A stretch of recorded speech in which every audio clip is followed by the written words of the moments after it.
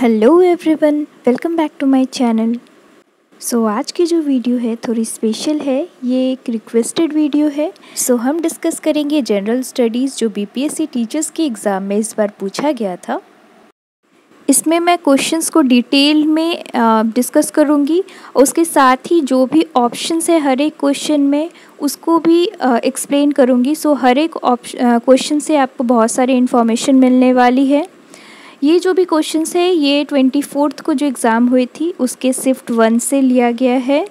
और अगर आपको ये वीडियो अच्छा लगेगा तो मैं इस पर एक सीरीज़ लाऊँगी, जिसमें मैं सारे क्वेश्चंस डिस्कस करूँगी। क्योंकि अगर एक वीडियो में सारे क्वेश्चंस डिस्कस करें तो वीडियो लेंदी हो जाएगी। सो सीरीज़ में आएगा। Let's start first question question number seventeen में ये पूछा गया है कि कौन सा ऐसा इंस्ट्रूमेंट है, जो इलेक्ट्रिक के पोटेंशियल को मेज़र करने के लिए यूज़ होता है?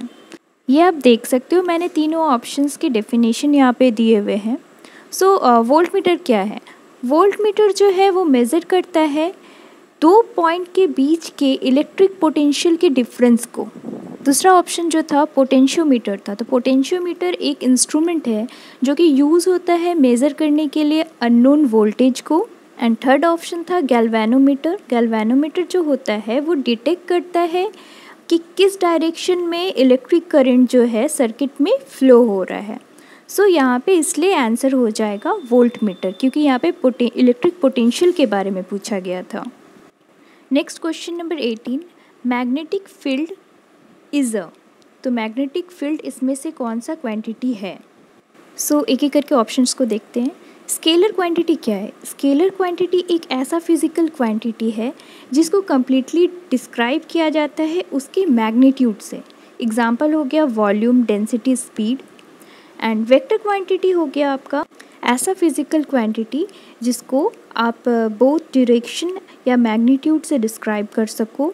जैसे फॉर एग्जांपल फोर्स या डिस्प्लेसमेंट डायमेंशनलेस क्वांटिटी वो क्वांटिटी फ़िज़िकल क्वांटिटी है जिसकी कोई फ़िज़िकल यूनिट नहीं होती। For example strain molar fraction specific gravity so इस क्वेश्चन का आंसर हो जाएगा वेक्टर क्वांटिटी क्योंकि मैग्नेटिक फ़ील्ड का direction as well as magnitude दोनों होता है। क्वेश्चन नंबर 19 में पूछा गया है कि सबसे ज़्यादा किस पोजीशन में एक इंसान पुश करता है अपने वेट को अर्थ पे। इस क्वेश्चन को आंसर करने से पहले आपको ये समझना पड़ेगा कि जो प्रेशर एग्जर्ट करता है एक पर्सन अर्थ पे वो आपको कैसे पता चलेगा कि किस पोजीशन में वो ज़्यादा करेगा? तो जो प्रेशर एग्जर्टेड ऑन अर्थ होता है, वो equal to weight of the person divided by surface area of the person covers जिसका मतलब ये हो जाता है, जो प्रेशर एग्जर्ट होता है, वो इन्वर्सली प्रोपोर्शनल होता है area surface area covered by the person के। इसको हम लोग इस एग्ज़ाम्पल से भी समझ सकते हैं। जैसे मान लीजिए ये फ़ोन है। जब इसको हम लोग लाइन पोजीशन में रख रहे हैं तो ये जो सरफेस एरिया है, ये ज़्यादा कवर कर रहा है। तो जब भी कोई चीज़ ज़्यादा सरफेस एरिया कवर करता है तो जो प्रेशर एग्जर्ट होगा, वो लेस होगा। और वही मान लीजिए, इसको अभी स्टैंडिंग पोजीशन में हम लोगों ने रख दिया तो जो सरफेस एरिया है, वो कम कवर हो रहा है यहाँ पे। तो जो प्रेशर एग्जर्ट होगा वो मैक्सिमम होगा। सो so, ये सेम चीज़ पर्सन पे भी अप्लाई होगा। तो जब वो स्टैंडिंग पोजीशन में रहता है तो वो सरफेस एरिया लीस्ट कवर करता है।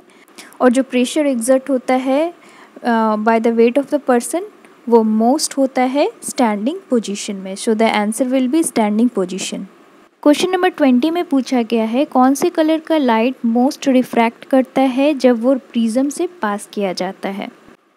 जब हम लोग वाइट लाइट को ग्लास प्रिज्म से पास कराते हैं तो ये स्प्लिट होकर सेवन कलर्स में दिखती है हमें। इस फिनोमिना को कहते हैं डिस्पर्सन ऑफ़ लाइट सारे कलर की वेबलेंथ एंड स्पीड जो होती है, वो डिफरेंट होती है एक दूसरे से।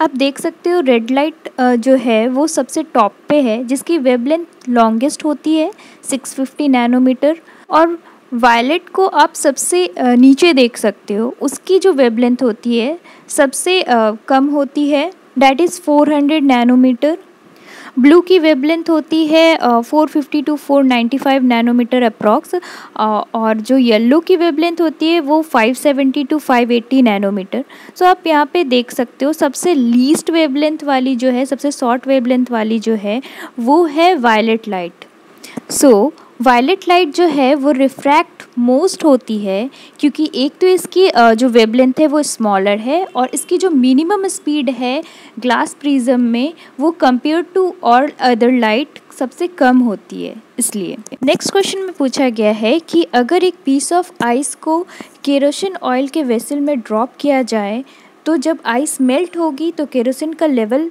क्या होगा? बढ़ेगा, घटेगा या रिमेन सेम रहेगा? केरोसिन का जो डेंसिटी होता है वो पानी से कम होता है। सो so, जब आइस को ड्रॉप किया जाएगा केरोसिन में वो सिंक करके नीचे चला जाएगा और जब वो मेल्ट होगा तो वो डिस्प्लेस कर देगा केरोसिन को इक्विवेलेंट टू इट्स मास और इस डिस्प्लेसमेंट की वजह से जो केरोसिन का लेवल है वो इंक्रीज़ हो जाएगा। इसलिए इस क्वेश्चन का आंसर हो जाएगा option number A rise question number twenty two इसमें से किसका पीएच लेवल जो है वो सेवन से ज़्यादा है?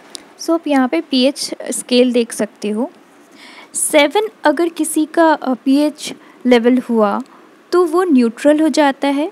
सेवन से अगर कम रहा, देन वो एसिडिक नेचर का हो जाता है और सेवन से ज़्यादा रहा तो वो बेसिक नेचर का हो जाता है। ऑप्शन में हम लोग के पास था gastric juice blood plasma and vinegar vinegar का जो पीएच लेवल होता है वो टू टू टू से थ्री में रेंज करता है।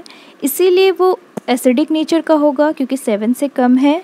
गैस्ट्रिक जूस का जो पीएच लेवल है वो 1.5 से 2.2 में रेंज करता है। वो भी एसिडिक नेचर का है।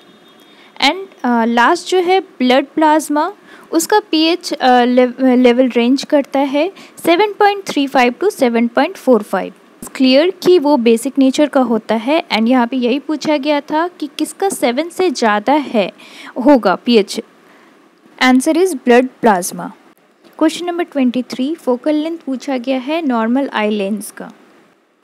आई लेंस और रेटिना के बीच का जो डिस्टेंस होता है, उसको फोकल लेंथ कहा जाता है, और नॉर्मल आई लेंस का जो फोकल लेंथ होता है, वो अबाउट टू सेंटीमीटर होता है, या आप ट्वेंटी एम mm भी बोल सकते हो।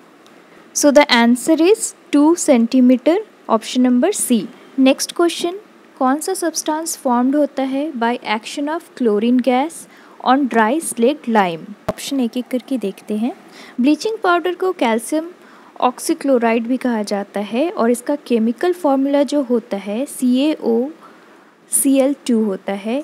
It is also called chloride of lime आप यहाँ पे केमिकल रिएक्शन भी देख सकते हो जब क्लोरीन को पास कराया जाता है calcium hydroxide that is slaked lime पे then calcium oxychloride that is bleaching powder form होता है और वाटर फॉर्म होता है that is H two O option में कैल्शियम क्लोराइड भी था तो कैल्शियम क्लोराइड तब फॉर्म होता है जब लाइमस्टोन हाइड्रोक्लोरिक एसिड के साथ रिएक्ट करता है एंड यहाँ पे आप केमिकल फॉर्मूला भी देख सकते हो।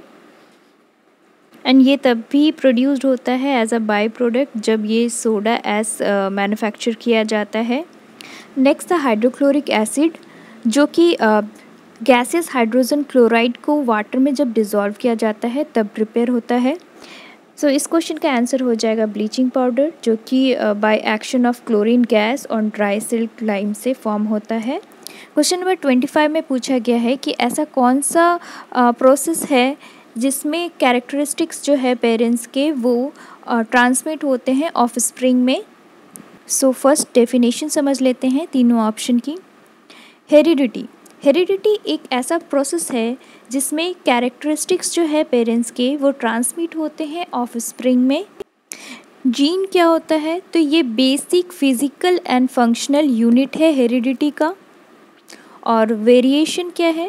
वेरिएशन है जो डिफरेंस होता है हर एक इंडिविजुअल स्पीशीज़ या ग्रुप ऑफ़ ऑर्गेनिज्म में, उसको कहते हैं वेरिएशन सो इट्स क्लियर कि ये आंसर हो जाएगा option number B heredity question number twenty six में पूछा गया है कि वेरिफिकेशन के लिए ओम्स लॉ में क्या क्या चीज़ ध्यान में रखना पड़ता है? यहाँ पे एमीटर और वोल्ट मीटर को किस वे में आपको कनेक्ट करना है? किसको सीरीज़ में कनेक्ट करना है एंड किसको पैरेलली कनेक्ट करना है, वो आपको यहाँ पे चूज़ करना है।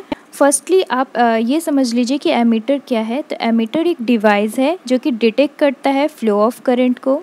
जबकि वोल्ट मीटर एक डिवाइस है जो कि मेज़र करता है difference in potential between two locations ammeter का जो इम्पिडेंस होता है, वो लो होता है, इसलिए उसको सीक्वेंस में लिंक किया जाता है। और पैरेलल में अगर इसको लिंक किया जाए तो शॉर्ट सर्किट हो सकता है। अगर वोल्ट मीटर की बात करें तो इसकी रेजिस्टेंस बहुत हाई होती है, इसलिए इसे पैरेलल मैनर में लिंक किया जाता है। और मान लीजिए अगर इसको सीरीज़ में लिंक किया जाए तो ये ऑब्स्ट्रक्ट कर देगा करंट पैसेज को सर्किट में। सो so, एमीटर को कनेक्ट किया जाता है सीरीज़ में एंड वोल्ट मीटर को कनेक्ट किया जाता है पैरेलल में। So the answer will be option number B question number twenty seven क्या होता है जब डाइल्यूट हाइड्रोक्लोरिक एसिड को आयरन फीलिंग में ऐड किया जाता है तो? जब हम लोग हाइड्रोक्लोरिक एसिड को आयरन फीलिंग में डालते हैं। तो आयरन जो है, वो डिस्प्लेस कर देता है हाइड्रोजन को हाइड्रोक्लोरिक एसिड से, और फॉर्म करता है आयरन क्लोराइड और हाइड्रोजन गैस यहाँ पे आप केमिकल इक्वेशन भी देख सकते हो आयरन प्लस हाइड्रोक्लोरिक एसिड से ferrous chloride plus hydrogen gas form होता है। So the answer for this question is option number A so that's it इस वीडियो में इतना ही। अगर आपको वीडियो पसंद आया हो इन्फॉर्मेटिव लगा हो तो like share and subscribe and अगर आप चाहते हो कि मैं इस पर पार्ट टू भी लाऊं तो प्लीज़ कमेंट कीजिए। एंड अगर आपको किसी भी क्वेश्चन में डाउट हो या फिर कोई आंसर आपको रॉन्ग लगे तो डेफिनेटली कमेंट कीजिएगा। I will be more than happy to clear your doubts and thank you for watching